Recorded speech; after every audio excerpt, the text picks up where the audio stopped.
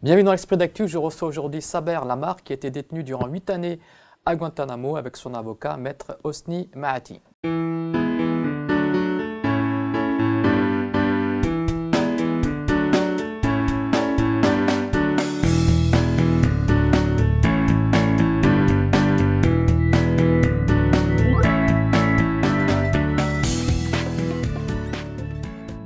Bienvenue, euh, messieurs. Alors, euh, Saber Lamar, vous avez été détenu durant huit années à Guantanamo. Vous avez été arrêté en septembre 2001 en Bosnie. Est-ce que vous pouvez nous raconter les conditions de cette euh, arrestation? Après le, 11 septembre, de quelques jours, l'ONU, la police bosniaque et la police américaine ils sont venus chez moi euh, à la maison. Euh, pourquoi? Ils sont dit, même nous, on ne sait pas. Mais on a un ordre pour euh, vérifier ta maison. Ils sont vérifiés la, maison pour 4 heures, 5 heures, comme ça. Après, ils sont prenus, moi, chez la commissariat de Sarajevo. C'est quoi mon problème? Exactement, toujours, il y a, on sait, on sait pas. On sait pas. après, euh, ils sont dit il faut que vous passez euh, chez la justice dans 24 heures. C'est la justice qui décide euh, est-ce que tu veux partir chez vous ou le prison. Et j'assieds dans le, le prison presque trois mois. Et après, le juge, c'est un, une femme qui s'appelle Yasmika, elle a décidé de libérer moi il a dit dans une demi-heure, il faut qu'il quitte le prison et il faut pas que la police, une autre, une autre fois, il suive lui. On a vérifié tout, tout. Qu'est-ce qu'il a? Il n'a rien. Et après ça, moi, je pense que je vais partir à ma maison et je vais sortir de, devant la porte de la maison et je trouve euh, presque 300 soldats. Les Américains, l'ONU, euh, la police bosniaque ils s'en prenaient moi, et mettaient le, cagoule, les menottes et tout, qu'est-ce qu'il faut. Et ils s'en prenaient euh, moi chez une base américaine dans une ville qui s'appelle euh, Toulouse. Euh, j'ai fait, je pense, deux ou trois jours dans, ce, dans cette base et après ils s'en prenaient moi chez Guantanamo. Pourquoi Guantanamo? Jusqu'à maintenant, je ne sais pas pourquoi. Alors, Maître Hosni Mati, on peut peut-être revenir sur les conditions de cette arrestation comme il l'a indiqué, cette arrestation intervient quelques jours après euh, euh, les attentats du 11 septembre 2001 à New York. Et euh, en fait, la, théorie officielle, c'est qu'on soupçonne M. Saber Lamar de vouloir fomenter un attentat contre l'ambassade US, donc américaine, à Sarajevo. c'est sur cet élément-là qu'on a décidé donc son arrestation.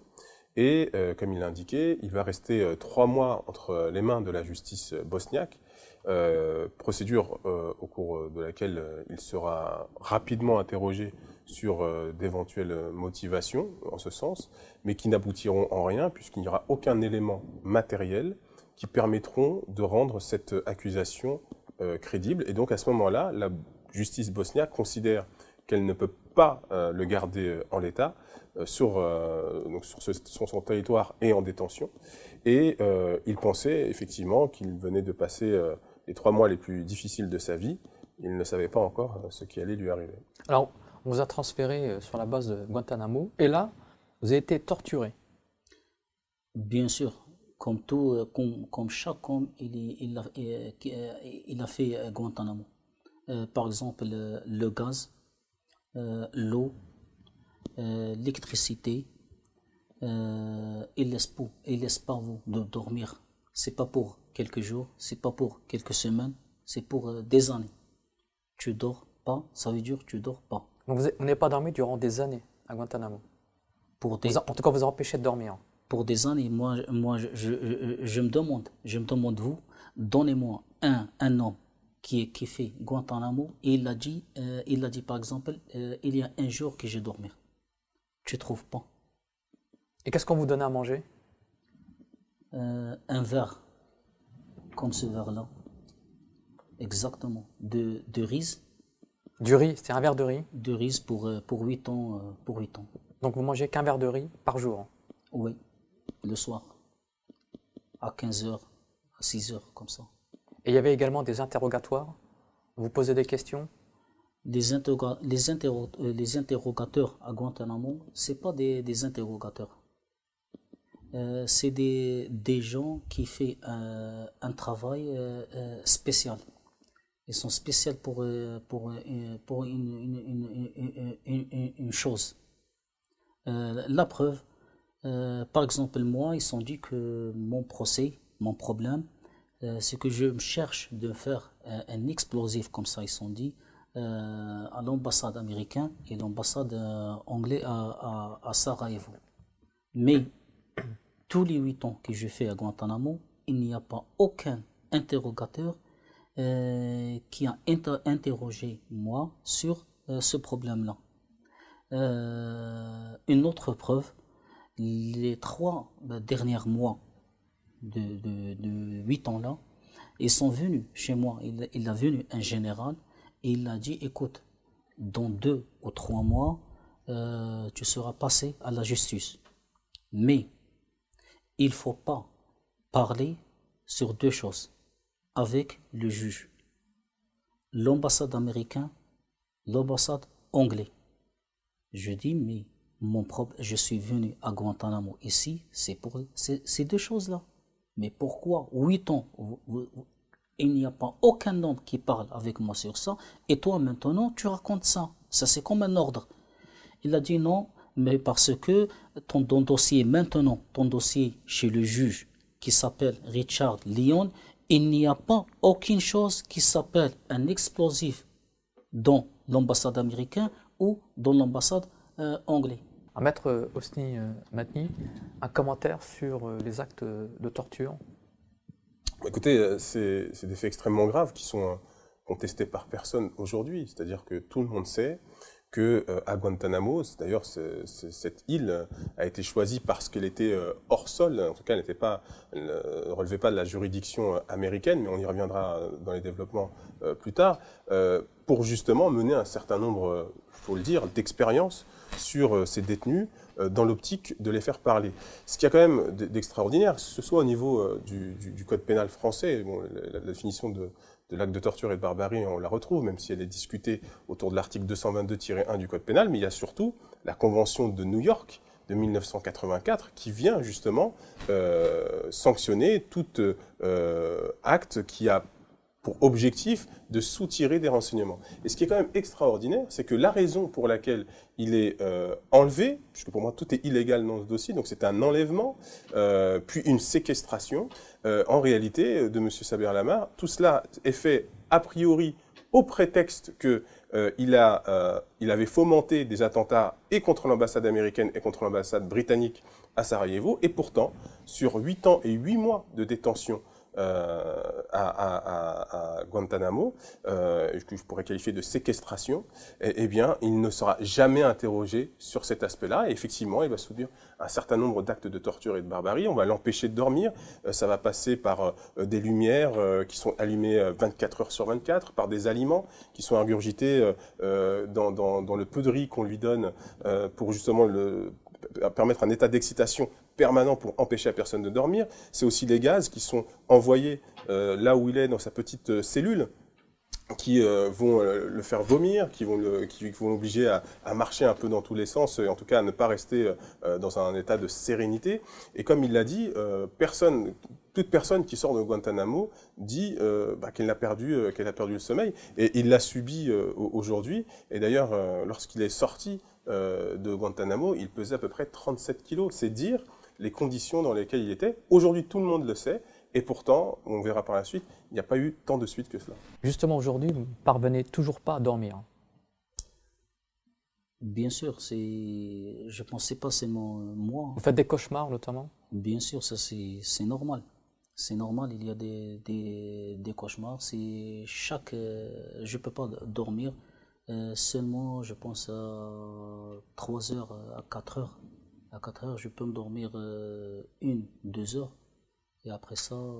Ouais, vous ne dormez plus du tout Non. Vous faites également des cauchemars, c'est ça? Bien sûr. Bien sûr. Une réaction par rapport aux séquelles que continue à subir euh, Saber Lamar? Bien sûr, c'est des séquelles qu'il va garder euh, toute sa vie. Euh, toute personne qui est victime de, de, de faits graves, d'agressions, on leur conseille toujours, et c'est normal d'être suivi par un psychologue. Lui, pendant 8 ans et 8 mois, il était suivi par un psychologue qui, en réalité, était là pour voir jusqu'où euh, Lamar, comme tous les autres détenus de Guantanamo, euh, pouvait aller dans la résistance aux actes de torture et de barbarie qu'ils enduraient. Et donc, moi, ce qui m'intéresse en tant qu'avocat, c'est concrètement aujourd'hui, comment peut-on apprécier la réalité du préjudice subi, c'est surtout cela euh, dont il s'agit, pour faire en sorte que ce préjudice soit euh, évalué, reconnu et indemnisé. Alors Sabar euh, Lamar, vous vous affirmez, vous avez été vendu par les États-Unis à la France, qui vous a promis de vous réinsérer. Oui, c'est ça exactement. Les, Français, ils sont achetés moi des Américains. je suis sûr, je suis sûr euh, la somme, c'est des millions, mais euh, exactement, je ne sais pas combien. La preuve, c'est Wikileaks, il parle euh, sur ça. il y a des documents, il y a tout. la deuxième preuve, la deuxième preuve, si ça c'est pas vrai, pourquoi par exemple, je me demande de parler avec l'État, il ne donne pas. Je me demande de parler avec François Hollande, ils donnent pas. Ça vous leur avez écrit Oui, j'ai écrit. Ils ne vous donné aucune réponse. Oui, oui, oui, oui, oui. oui. J'ai les preuves, j'ai les, toutes les lettres que j'écris, c'est des recommandés. J'ai les preuves, j'ai tout. Donc des lettres sans réponse à chaque fois. Il n'y a pas de réponse. J'ai demandé de parler avec Juppé à Bordeaux, euh, et, il ne l'a pas me donné. J'ai demandé de parler avec l'adjoint technique de euh, Juppé qui s'appelle Martinez, euh, il n'a pas, euh, il pas, euh, il pas me donné. J'écris, par à, l'ambassade américaine ici, ils sont pas me donné. Je me demande de parler, de parler avec l'ambassade américaine. C'est une femme ici maintenant. Elle l'a pas, elle l'a pas accepté. J'écris par les chez les États-Unis à, Obama exactement. Il l'a pas, il l'a pas me donné. Qu'est-ce que ça veut dire ça? Ça veut dire il y a une quelque chose qui n'est pas clair. Alors, Maître Hosni Mati, sur cette absence euh, de réponse des autorités françaises Alors, il faut, il faut remettre les choses dans leur contexte. Quand euh, Barack Obama accède à la Maison-Blanche, il avait fait euh, de sa promesse de campagne une des promesses phares, la fermeture de Guantanamo, parce qu'effectivement, et à juste titre, lorsqu'il était candidat, en tout cas, il avait absolument raison de ce point de vue-là, c'était une honte pour les États-Unis d'avoir cette base à Guantanamo. et il faut rappeler que finalement, lorsque la question s'est posée de savoir où allait partir euh, tous ces détenus, eh bien, c'était un petit peu la patate chaude que euh, tout le monde essayait de se refiler. Et ça s'est fait avec des accords. On ne peut pas penser, euh, il faut être naïf pour croire que ça s'est fait de façon complètement désintéressée. Et donc, la réalité, c'est que, d'ailleurs, ça a été le cas pour M. Saber Lamar, il a été reçu par les plus hautes autorités françaises à son arrivée, puisque c'est Bernard Kouchner qui l'a accueilli, qui a fait un certain nombre de promesses à, son, à son égard, il l'a accompagné jusqu'à l'hôpital, et puis après, il n'y avait plus rien.